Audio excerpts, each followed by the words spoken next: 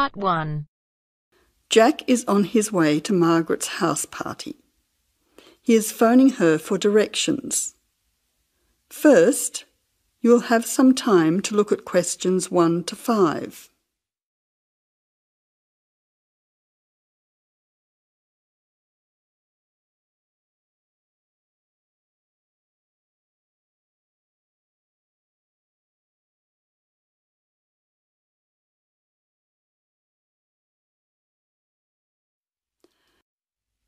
Now listen carefully and answer questions 1 to 5. Jack has got lost on his way to Margaret's party. He is phoning her for directions.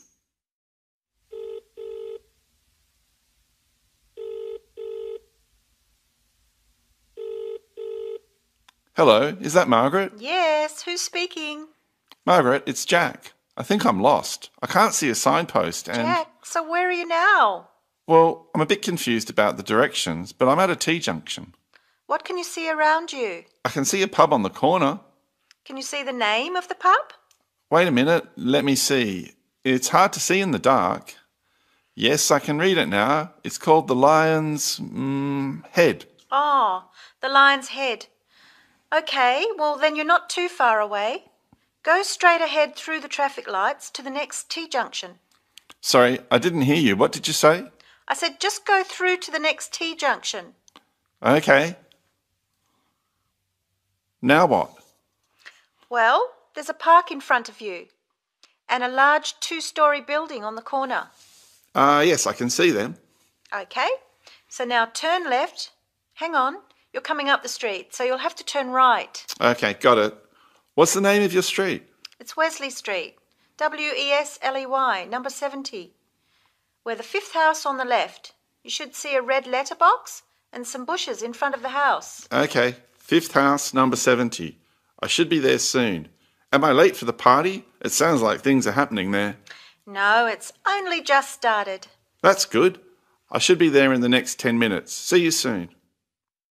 Jack hangs up and walks on. Seven minutes later, he calls Margaret again, as he still can't find the house. You now have some time to look at questions 6 to 10.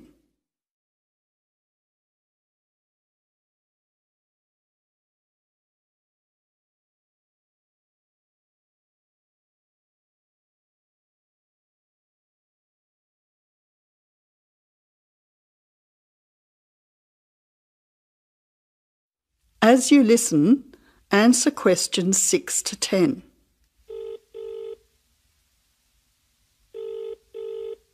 Who's speaking? Hi, Margaret. It's Jack again. Sorry to bother you. Listen, would you mind doing me a favour? Of course, what? Could you tell Mike I have got his camera? I've tried to send him a text message, but it's not going through. Oh, he's not here yet. Oh dear, he said he'd be there early. He might be lost too. Okay, I'll call him. What's his number? 0482 563379. Oh, so that's 0485 No, no, 0482 563379. Okay, I'll call him right away. But where are you now? Well, I'm in your street, but I still can't find your house. I can't see the numbers very clearly, or a red letterbox. It's pretty dark. I thought you said it was easy to find. Oh, okay, wait there. I'll come outside and get you. All right then, and don't worry about calling Mike. I'll try to call him now. Hang on, there's someone coming down the street. It looks like Mike. Oh, and I can see the letterbox now. It was hidden behind a bush. See you soon.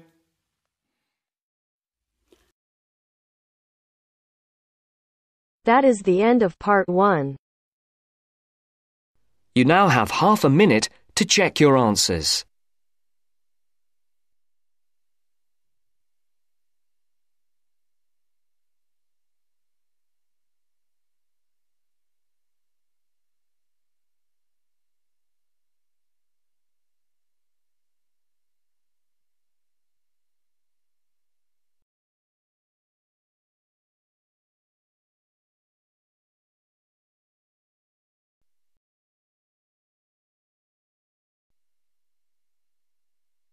now turns to part two. Part two. You're going to listen to a talk about the food we eat. First, you have some time to look at questions 11 to 15.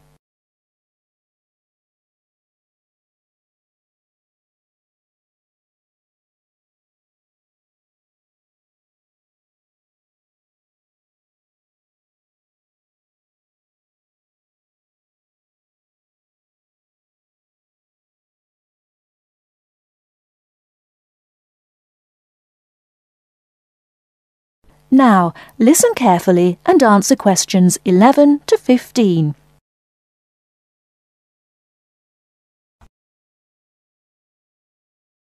Welcome to the Food We Eat, sponsored by Safeway. Increasingly, we know more about the effects of our eating habits and lifestyles on our health. While new information can change old ideas, the news stories can often be confusing. At Safeway, we try to help customers not only in the range and types of food offered, but also by providing up to date, reliable information in areas we know are of interest and which relate to the diet we eat. Today we are going to talk about sugar. Recently, doctors have been advising us to eat less sugar. The health recommendation to use less sugar is for two reasons. Firstly, for the sake of our teeth since the amount and frequency of sugar consumption links to decay. Secondly, as sugar is a good source of calories, it can easily be a problem if we tend to be overweight. The dental risk is because bacteria which occur naturally in our mouth feed on carbohydrates, sugar and starch, to form plaque and acid. Plaque is a sticky coating that prevents the bacteria being removed by saliva. The acid attacks the tooth itself. This takes time, however, so the trick is to avoid sticky foods like sweets, which stay around in crevices feeding the bacteria.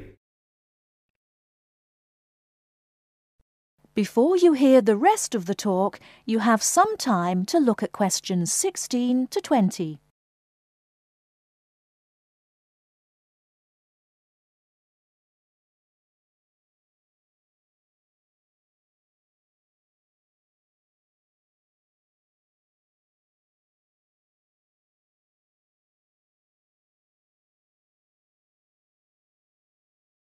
Now listen and answer questions 16 to 20.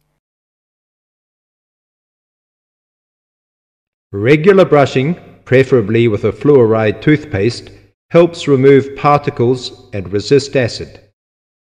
The worst thing you can do is nibble sweet things between meals. It puts your teeth under constant attack. A sweet tooth develops gradually. And you might be surprised at how you can steadily unlearn the taste, taking in fewer calories and saving your teeth. Here's some ways. A. Gradually cut down the sugar in tea and coffee till you can stop altogether or switch to sweeteners. B.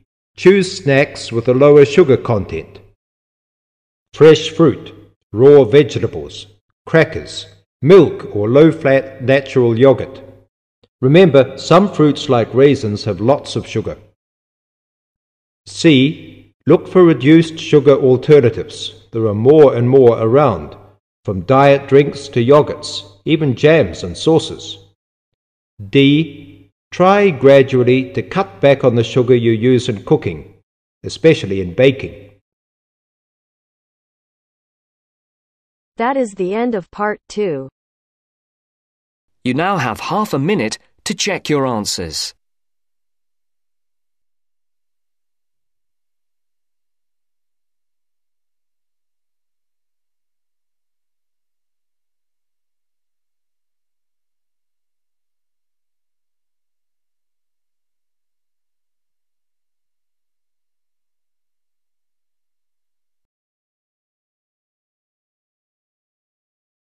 Hear a conversation between a research student, Jeremy, and his supervisor. They are talking about the process of having a research project published in a journal. First, You have some time to look at questions 21 to 25.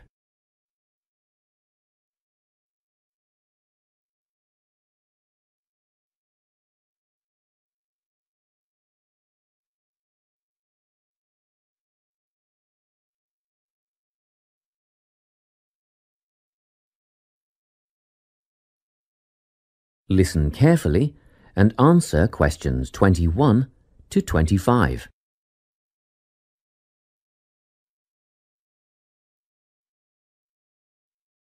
So, you're nearly ready to submit your article to an academic journal, are you? Yes, I think so. I just wanted to go over all the things I need to do before I submit it. And then I wanted to go over the submission process with you. Great. So, firstly, you need to write an abstract. Make sure it's short and concise. Of course. I forgot all about that. And what about key words? yes, a lot of students overlook this part and just jot down whatever comes to mind. But take some time to make a list of keywords that are accurate and relevant. Okay. Another thing. Could you have a look at my article before I submit it? Absolutely. Actually, at least two senior staff members should always read through a final draft before submission. Do you mind if I give it to Professor Johnson to have a look at as well? Not at all. I'd be glad to have the feedback. Do you know which journal you want to submit to yet? Not yet. I have a short list of about three that I'm interested in. Make that decision soon, because you'll need to adjust your article so that it matches the style guide of the journal you are submitting to. I bet that can take a while. Yes, but after that you are just about ready to submit. One more thing, you'll have to sign the copyright form, just confirming that it's your own work, and then you're good to go. Before you hear the rest of the conversation, you have some time to look at questions 26 to 30.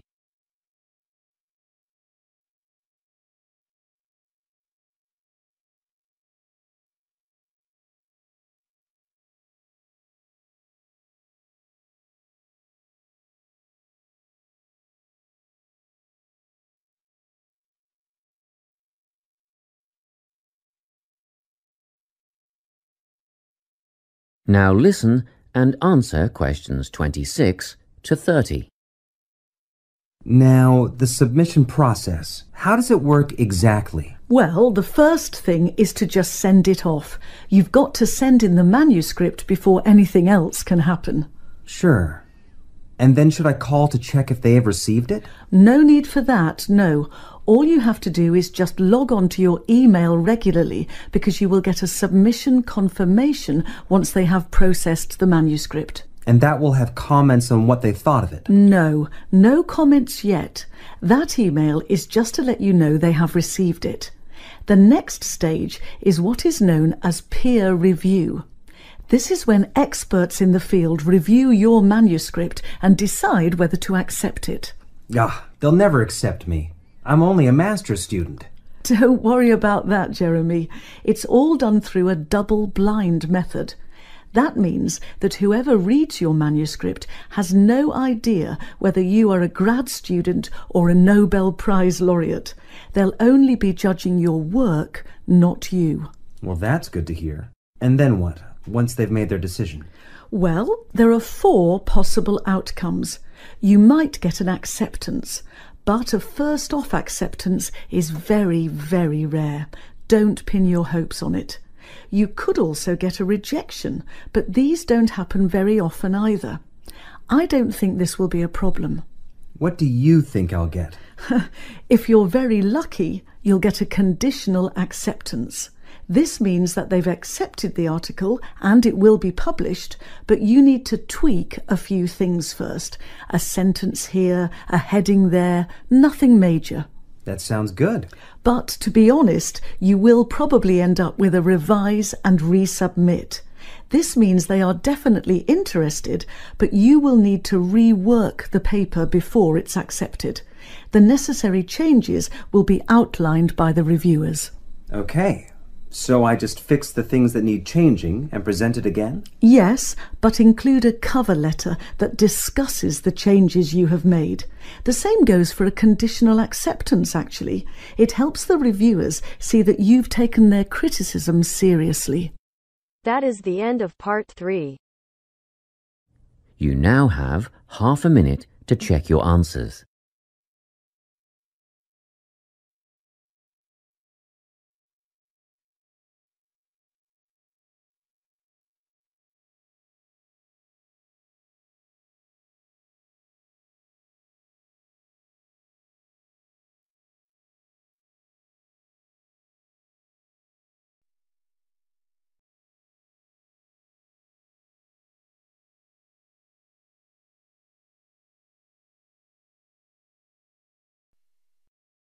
Now turns to part 4.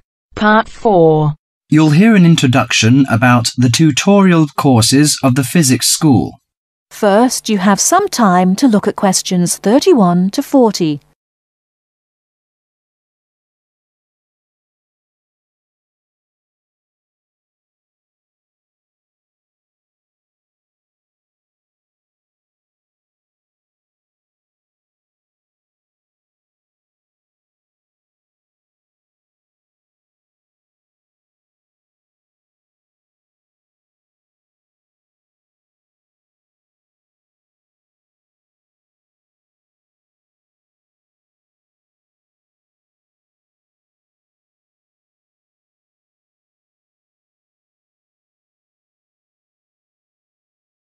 Now listen carefully and answer questions 31 to 40. Welcome to Orientation Week. This is the physics school session, and we'll welcome Professor Smith, the head of the school, to introduce you to the tutorial system. Welcome, Professor Smith. Thank you. You may have noticed life at university is totally different from that of school. For you, tutorials are an important part of the teaching program. Tutors are the primary contact between undergraduate students and the school. A tutor is the student's personal tutor as well as their academic tutor. Tutorials for physics undergraduates consist of six students who meet each week with their tutor for at least 50 minutes. For radiographer students, Tutorials will normally consist of a group of about 10 students who will meet fortnightly with their tutor for a period of at least 50 minutes. In the first semester, the tutorials are during weeks 1 to 11. For semester 2, they are during weeks 14 to 24. Everybody involved is expected to be present and on time and the tutor will also be available in week 12 and 25 to discuss problems that arise during revision. But attendance by students is optional. Now I'm going to introduce to you the stages and activities of the tutorials. The induction period is from week 1 to 3.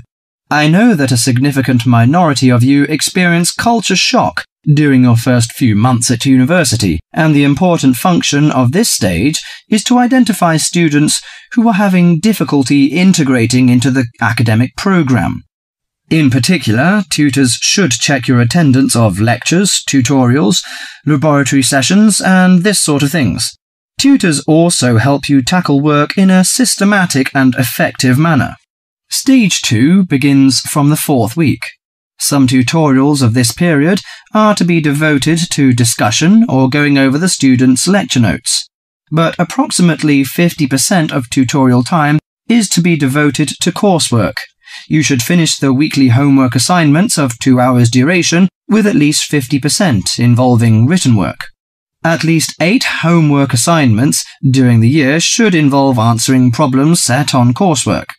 The written work collected by the tutor should be marked within a week of handing in, and generally the assignments should be graded. The third stage starts from week 8 till the 10th. During this period, math and four core physics programs are included. The majority of tutorial time should be devoted to work which support the lecture programs and laboratory work. At least 60% of homework assignments should involve written work. The assignment may involve writing an account of or notes on a specified range of topics. The written work should also be marked and graded. Short oral presentations by students should be included. They are possibly on general physics topics or essays. The last week's personal development planning is a structured and supported process. The primary objective for PDP is to help you to become more independent and confident, self-directed learners and encourage a positive attitude to learning throughout life. It is undertaken by yourselves to reflect upon their own learning, performance and achievement and to plan for their personal educational and career development.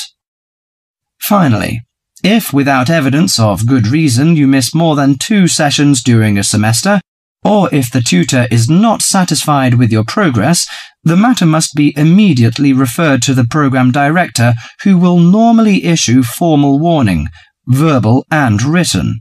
This will inform you that your place at university is under threat of withdrawal if no improvement is made.